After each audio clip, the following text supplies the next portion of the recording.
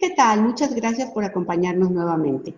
Este día nos encontramos con la doctora en Historia, María de Lourdes Herrera Feria, integrante del Sistema Nacional de Investigadores, quien ha desarrollado importantes proyectos sobre la pobreza y la asistencia social que han merecido incluso el apoyo del CONACYT.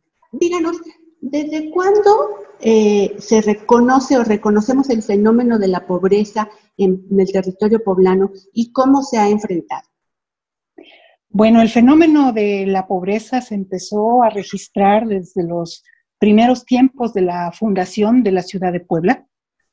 Eh, era muy evidente, ¿no? Este, la situación en la que habían quedado los, los indígenas, eh, la, situación de desposesión, de precariedad, y eh, rápidamente fue o empezó a ser registrada por las autoridades, tanto las civiles como las eclesiásticas. Entonces podemos decir que para nosotros el, registro, el reconocimiento del fenómeno de los pobres es, eh, nace casi al mismo tiempo que la ciudad misma.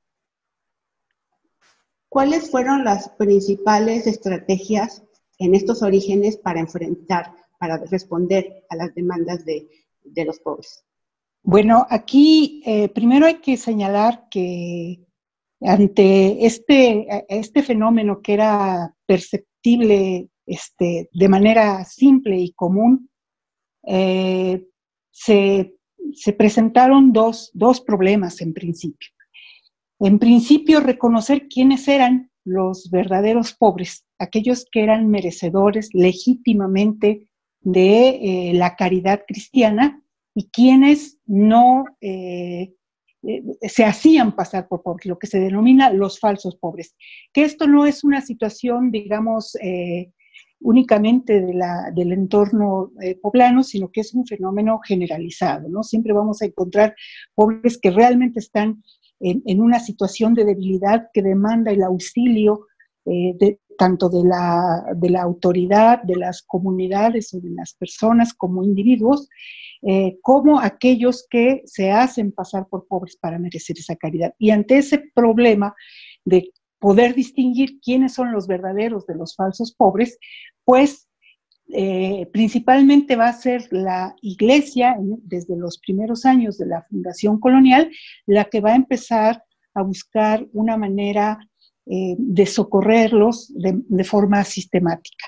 Y eso va a aparecer, digamos, como iniciativas individuales, alentadas sobre todo por esta virtud teologal que debe ser la caridad. O sea, en base a la caridad, eh, ya sea de manera individual o como parte de una eh, corporación eh, religiosa, este, se va a intentar ayudar a los pobres, pero pues vamos a ver que son iniciativas individuales, particulares, con fondos privados, este, que bueno, pues van a tener sus altas y sus bajas. No van a ser políticas muy consistentes.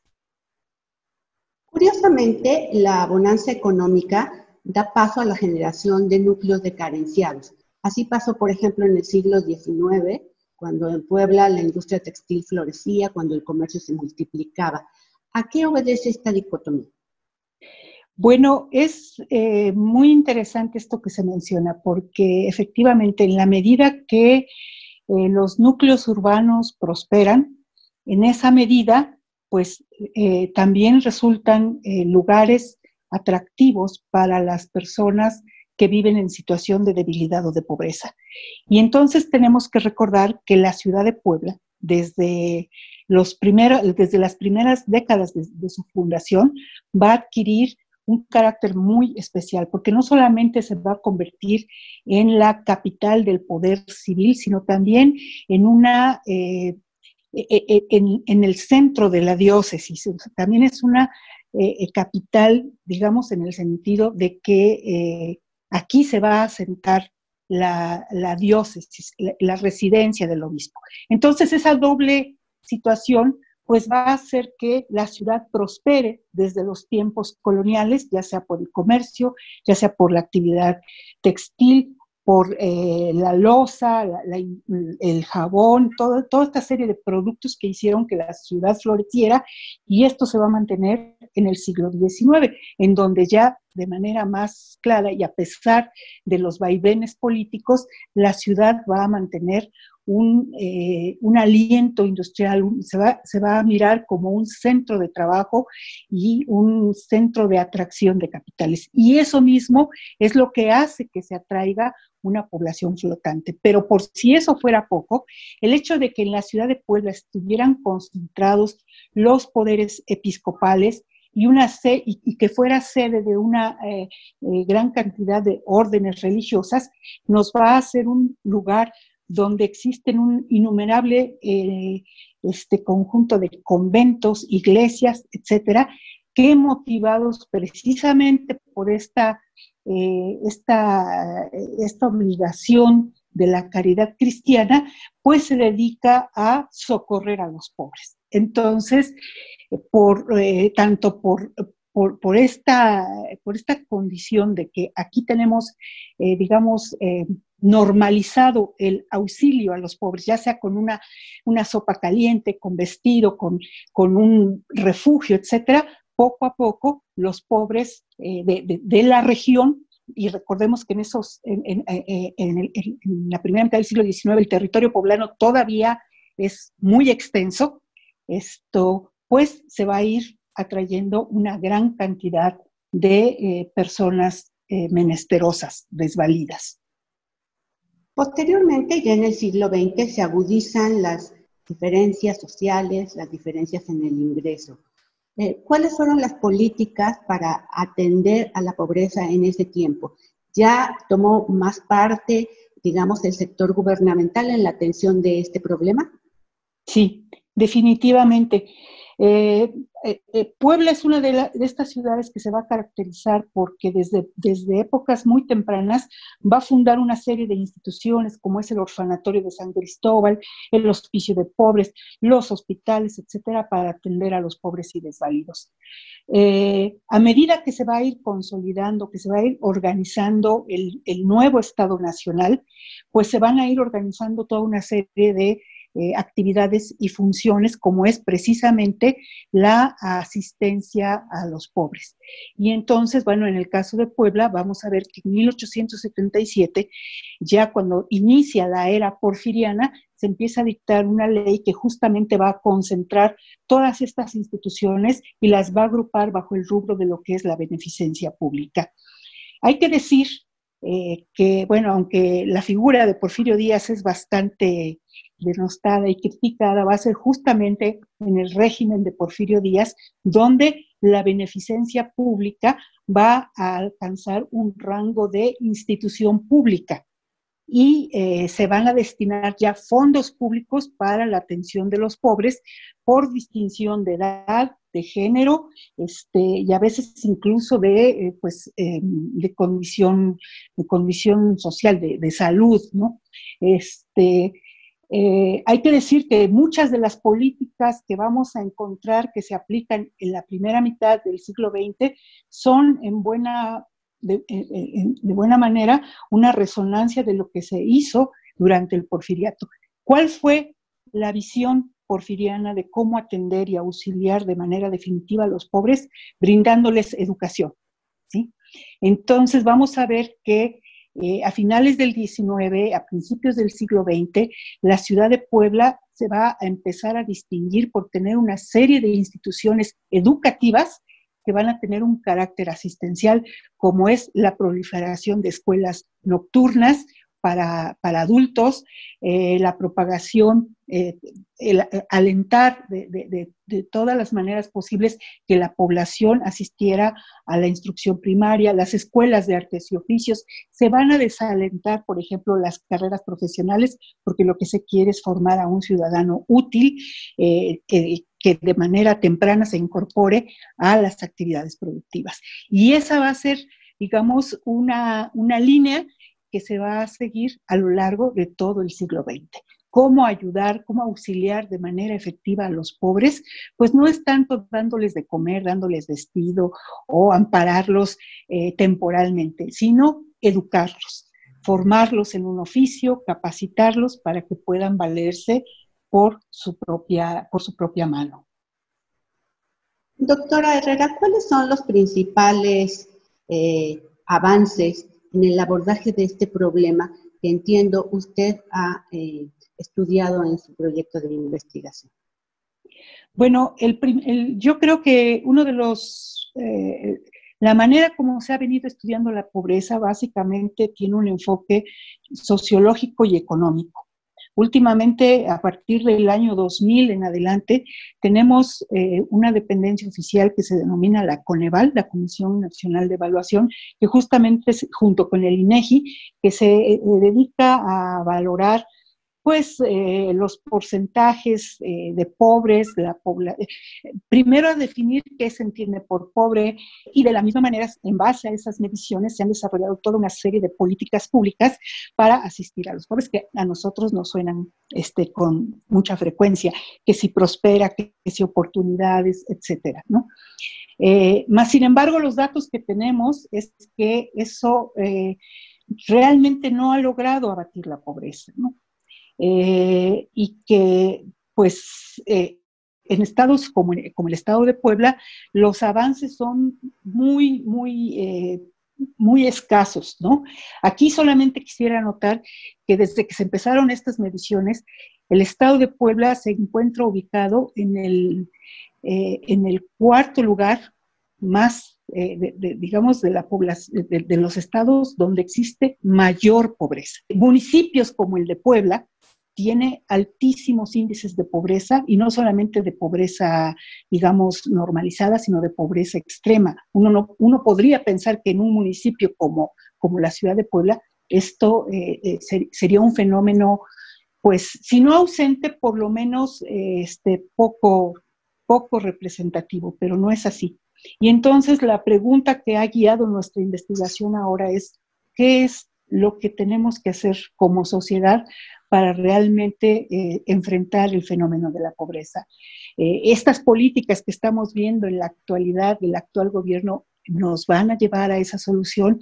Lo que, lo que observamos es principalmente que si algo ha faltado es hacer un estudio histórico de cómo se ha manifestado la pobreza y cómo se ha combatido. Entonces, justamente en eso estamos ahora comprometidos, tratando de hacer una revisión de larga, de larga duración eh, sobre el fenómeno de la pobreza y sobre el fenómeno de cómo se auxilia a los pobres y, con qué resultados para, de alguna manera, contribuir a un mejor estudio, a un mejor diseño de estas políticas eh, este, enfiladas a eh, pues combatir el fenómeno de la pobreza y la marginación.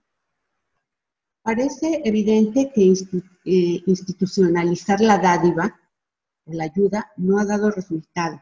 La educación, que mencionaba por otra parte, creo sin duda, es un elemento muy válido. Entonces, entre estos dos extremos, ¿qué ha fallado? ¿Por qué utilizar la educación como estrategia de combate a la pobreza no logró su propósito y dio paso a este nuevo modelo de dádivas gubernamentales a los pobres? Lo que podríamos decir eh, en este momento, que pues, estamos eh, con, la investigación en curso, es que sí, efectivamente, la dádiva que, que, se aplicó en el siglo XVI, en el siglo XVII, en el siglo XVIII, en buena parte del siglo XIX, no eh, resolvió el tema de eh, la pobreza. ¿sí?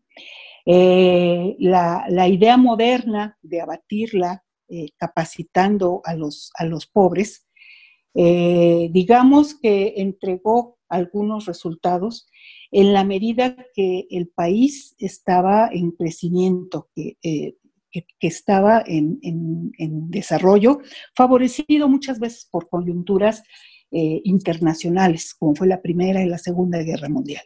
¿sí? Pero ahora vemos que incluso la educación no es una herramienta este, suficiente. Quizá ese fue uno de los errores de la educación de las escuelas técnicas, de las escuelas de artes y oficios en el periodo del porfiriato, que empezaron de una manera muy ambiciosa, teniendo unos planes de estudio muy vastos, muy extensos, muy variados, y que poco a poco se fueron reduciendo en favor de que fuera más rápido, más accesible y que más pronto estuvieran preparados trabajadores. O sea, como se puede ver, no hay nada nuevo bajo el sol. Este, lo que mostró es que, pues sí, se capacita la mano, se capacita el, al trabajador, pero eh, cuando las condiciones cambian, eh, la población no tiene las herramientas eh, suficientes y necesarias para adaptarse al cambio, ¿no? Entonces, una educación está orientada únicamente a la especialización en el trabajo manual este, o, en, funciones genéricas, realmente no está cumpliendo con esa función de eh, asistir, de auxiliar a los pobres. Entonces, creo que en ese sentido, eh, la educación tiene mucho que replantearse, pero además habría que considerar otros, otros muchos factores, ¿no? Este, y entonces, no solamente es la dádiva, no solamente es la educación, hay que encontrar qué más nos hace falta para, este, pues, de alguna manera paliar este fenómeno que por supuesto es multifactorial y, y por supuesto las soluciones, pues, también tienen que serlo. Finalmente, doctora, ¿en su estudio hay algún referente internacional de, en el abordaje al combate a la pobreza que pudieran incorporar eh, a la práctica o a la propuesta de las políticas públicas de México? Y eso por una parte. Y por otra, ¿cuál es la perspectiva que desde la academia existe en estos momentos acerca de la pobreza? ¿Va, ¿Hay posibilidad de combatirla, de aminorarla? Bueno, eh, hay que decir que eh, hay, muchos autores que se han ocupado del tema, que la han estudiado desde los tiempos de la Edad Media y bueno, y siguen en eso.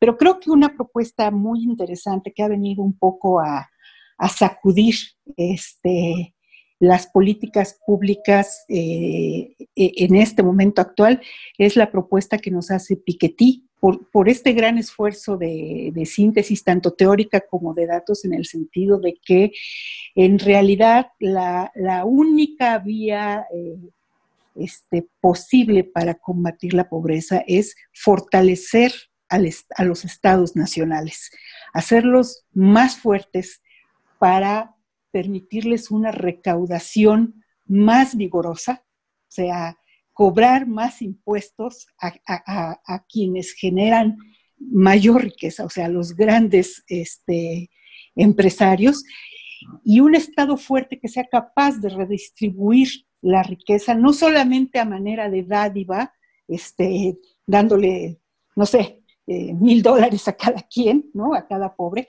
sino sobre todo fortalecer toda una serie de funciones como es la salud, la educación, eh, la cultura, etcétera, este, para, eh, pues, de alguna forma combatir estas tremendas desigualdades, ¿no?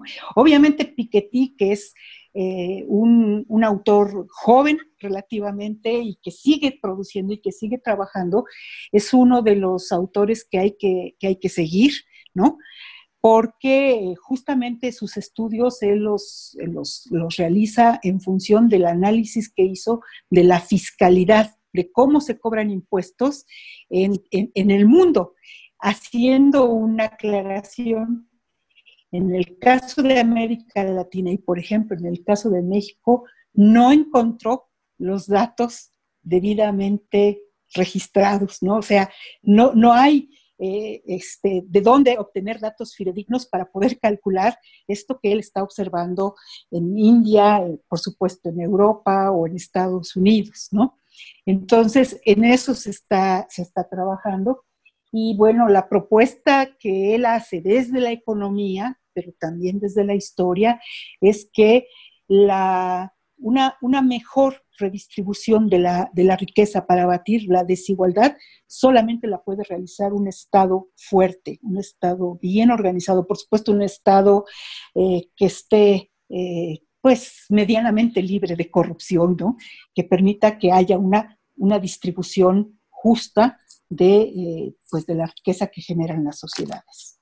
Le agradecemos mucho, doctora María de Lourdes Herrera, por su tiempo, por compartir con nosotros estas eh, opiniones y eh, hacer votos para que desde la academia también se aporte a la elaboración de políticas públicas que resulten en efectivos mecanismos de atención a la pobreza, porque mientras haya pobres no habrá desarrollo equitativo y eso a todos nos debe de importar.